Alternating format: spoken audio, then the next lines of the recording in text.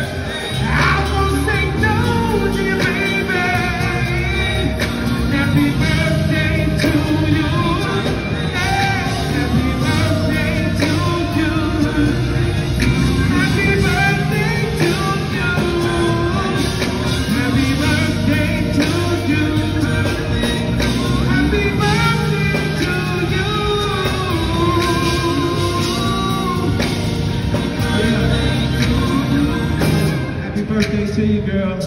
Y'all make some noise for my beautiful wife. For my God, man, shine. Yeah, yeah. Now listen to this. He gonna transition out of this. Because check this out.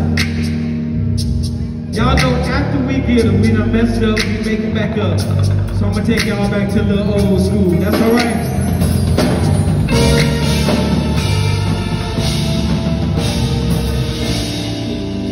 How y'all enjoying yourselves so far? Y'all enjoying yourselves so far? Check this out, I'm gonna give y'all a little bit old school. That's alright? Alright. Is that alright? Alright. My mind's telling me no,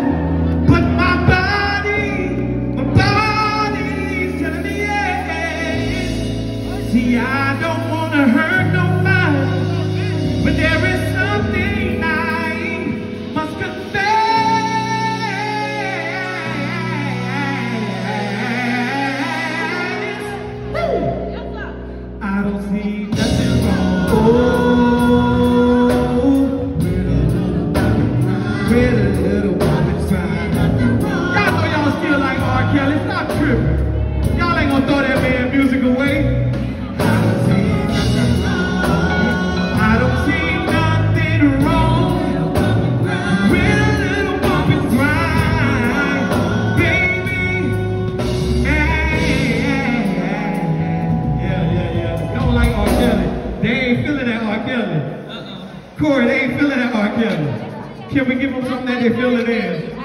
Y'all got issues with R. Kelly. That was Robert that did all the bad stuff. R. Kelly still sing good music. Let's give them something that they like.